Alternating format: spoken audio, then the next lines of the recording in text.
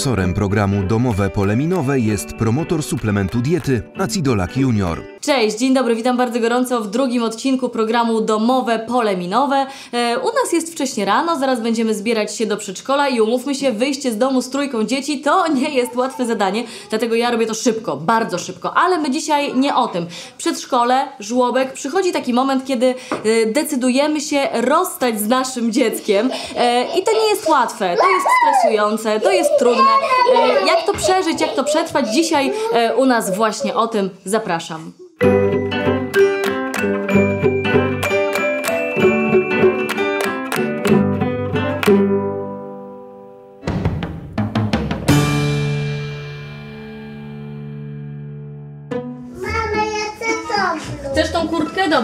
Poczekaj, już zdejmuję kurteczkę, a ty buciki Jadzina zakładaj.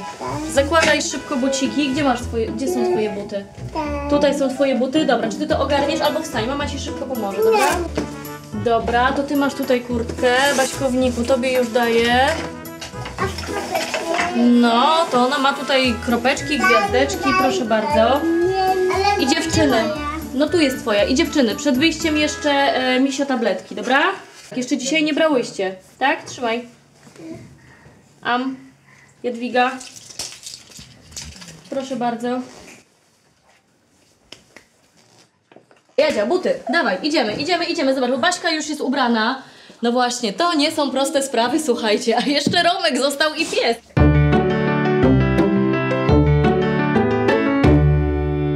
A gdzie idziemy? Idziemy do przedszkola.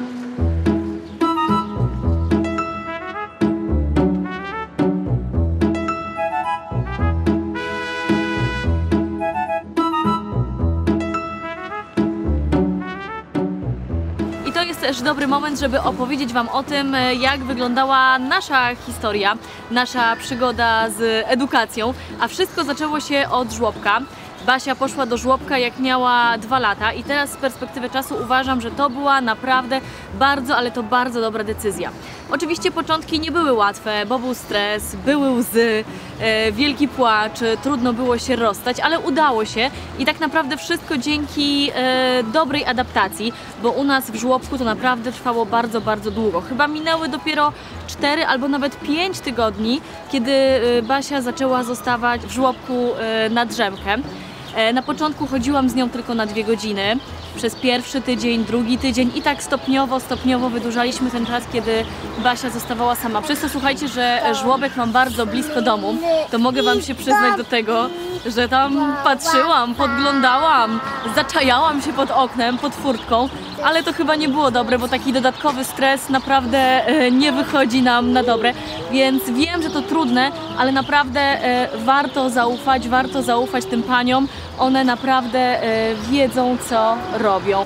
Jadwiga. Jadwiga z kolei poszła, idąc za ciosem, poszła do żłobka rok wcześniej, jak miała rok z hakiem. A teraz mamy fajnie, bo dziewczyny chodzą razem do jednego przedszkola, więc dla mnie to jest bardzo wygodne rozwiązanie, bo idziemy wszyscy razem tylko w jedno miejsce. Dziewczyny uwielbiają swoje przedszkole. E, Jadzia jest pierwszy rok i też super się odnalazła i to właśnie dzięki temu, że wcześniej chodziła do żłobka.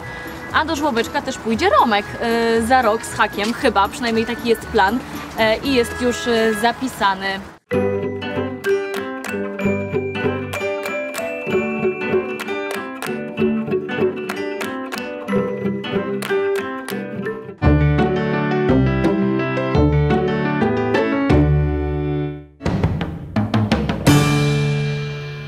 Jak wyglądała przygoda przedszkolno-szkolna? Zapytam dzisiaj Monikę Mrozowską, mamę trójki dzieci. Cześć.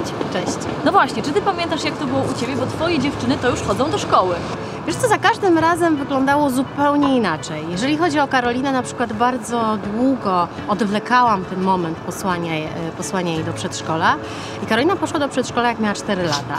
Natomiast Czyli tak jakby rok później rok niż... później niż było normalnie. to planowane, tak? Bo wydawało mi się, że ona jest taka mała, że ona jest taka jeszcze niegotowa, a wydaje mi się, że chodziło głównie o to, że to ja nie byłam gotowa na to, żeby się jej pozbyć z tego domu. Natomiast w momencie, kiedy się pojawiła Jagoda, a Karolina wtedy już chodziła do szkoły podstawowej, e, to mi się już podobał ten moment, kiedy jestem sama w domu, kiedy tych dzieci nie ma, kiedy mam chwilę, żeby sobie usiąść, w spokoju napić się kawy.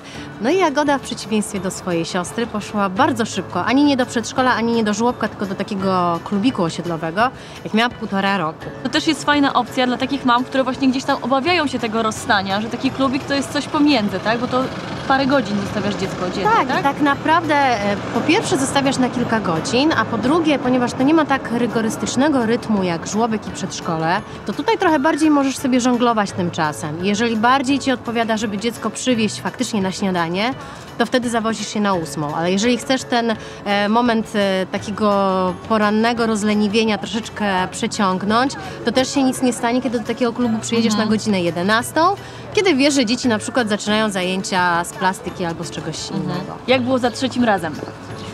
No z Józkiem, wiesz co, teoretycznie powinno być łatwiej, no ale to jednak synek, więc trochę inne emocje, poza tym synek mamusi, więc też było mi ciężko. Były takie próby i były takie pomysły, żeby posłać Józka do żłobka, ale jakoś tak szczęśliwie udawało nam się ten moment y, odwlekać w czasie, że w końcu Józek w tym roku, właściwie w zeszłym roku we wrześniu poszedł do przedszkola. Zauważyłam, że łatwiej jest chłopcu, jak odprowadza go tata, bo ze mną zawsze był jakiś cyrk. No bo to zawsze był mamusi. płacz, tak, nie, ja tu nie zostanę, ale książkowo. Po miesiącu mój synek po prostu 1 października stanął w drzwiach, pomachał mi, odmaszerował do pani i wiedziałam, że już ten najgorszy okres mamy za sobą. Co było najtrudniejsze tak z perspektywy czasu? Najtrudniejsze chyba za każdym razem jest to wstawanie rano, bo ja jednak jestem taką mamą, która chce, żeby te dzieci, jak już wchodzą w ten tryb taki przedszkolno-szkolny, e, to żeby nie spóźniały się i nie przyjeżdżały tam do tego przedszkola w okolicach godziny 10-11,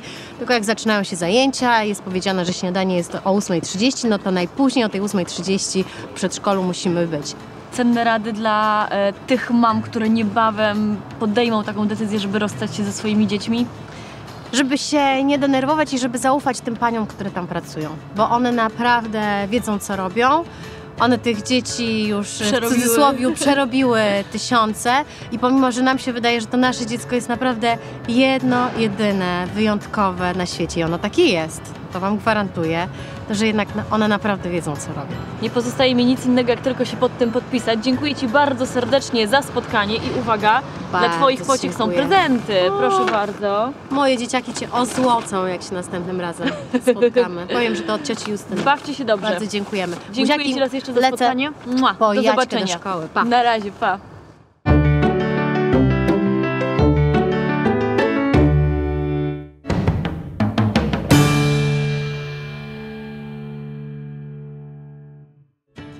Cześć Gosiu. Dzień dobry. Dzisiaj temat trudny dla rodziców. E, rozstanie z naszym dzieckiem, żłobek, przedszkole, proces adaptacji. I właśnie może od tego zacznijmy. Jak ten proces adaptacji powinien wyglądać, żeby było dobrze?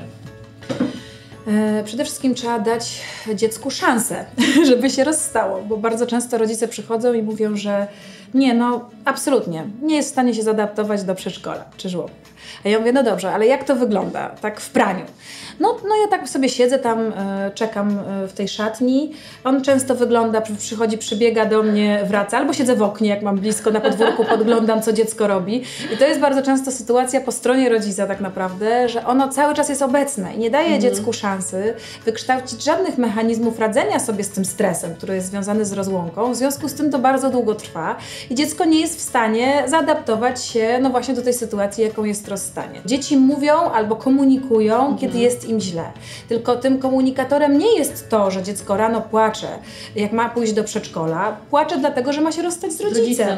Ale jeżeli ono płacze nieprzerwanie przez cały dzień i to trwa, i trwa to dłużej niż miesiąc, to wtedy jest pierwszy sygnał, że należy zainteresować się po pierwsze tym, czy w przedszkolu dzieje się wszystko to, co może dobrego się zadziać dla niego, czyli czy wychowawcy robią wszystko, żeby go za, zanimować, żeby go zachęcić do zabawy z grupą, żeby, go, żeby mu pomóc się zaadaptować. A druga rzecz jest taka, żeby zobaczyć, co się dzieje po stronie dziecka, że być może ono nie jest jeszcze dojrzałe, że na tyle dojrzałe, żeby w tej grupie pozostać. E, no dobrze, ale powiedz mi, co jeszcze w zachowaniu naszego dziecka powinno nas zaniepokoić? E, No na pewno wszelkiego rodzaju objawy somatyczne, tak zwane psychosomatyczne, tak? Czyli dzieci, które e, mają mniejsze, mniejsze możliwości komunikacyjne, bo są mniejsze, bo mają półtora roku, dwa lata, dwa i pół, jeszcze nie mówią, jeszcze nie dają wyrazu swoim uczuciom, bardzo często komunikują poprzez swoje ciało. Czyli dzieci, które e, na przykład zaczynają mieć problemy, nie wiem, z biegunką, wymioty, nie mogą spać, e, mają ciągłe powracające bóle głowy. Jeśli ten stan się rzeczywiście dłużej utrzymuje, to warto się zainteresować, czy nie jest to objaw stresu. Oczywiście należy to oddzielić od tego, że jeżeli dziecko boli głowa, tak, wraca z przedszkola, boli głowa i zaczyna płakać, że ono nie chce iść do przedszkola i boli go głowa.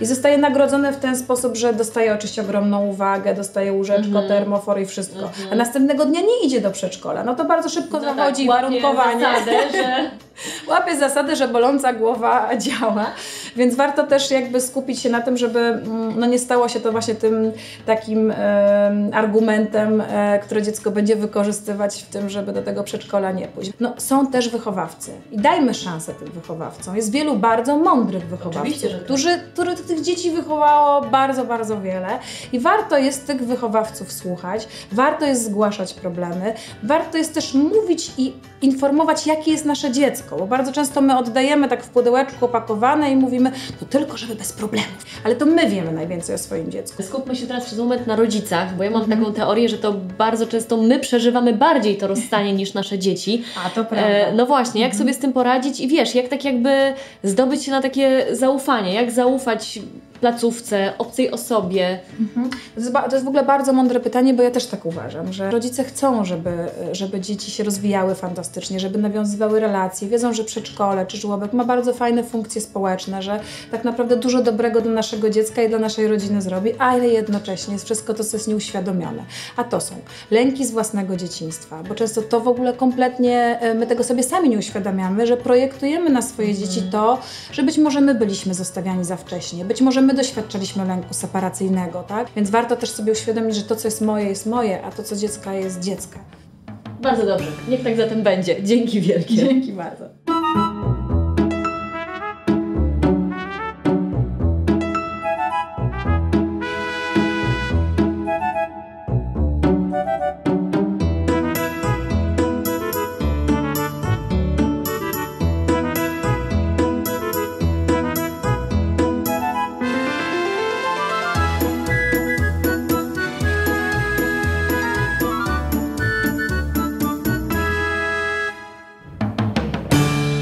Teraz minuta dla mamy, bo nie możemy zapominać, że my, mamy, jesteśmy przede wszystkim kobietami i musimy o siebie dbać, musimy mieć te chwile dla siebie. A o mnie dba olejek ze słodkich migdałów. To jest jeden z moich patentów. Wykorzystuję ten olejek do pielęgnacji skóry moich dzieci, nacieram nim sobie twarz, y, również włosy na noc.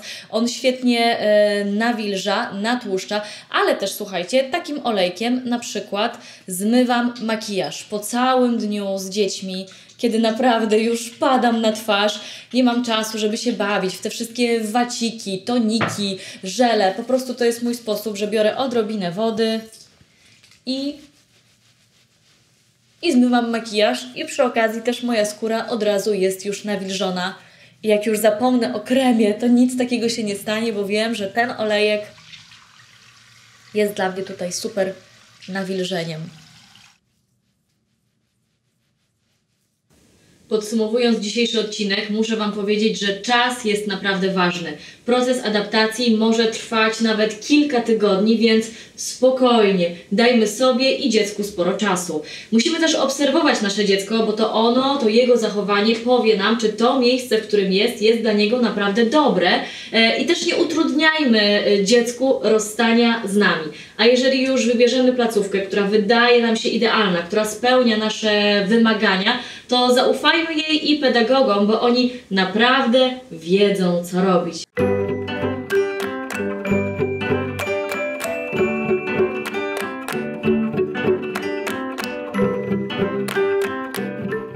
Też wiem, co robić. Romek śpi, jest kawa, chwila spokoju, będę korzystać, a my widzimy się za tydzień. Cześć!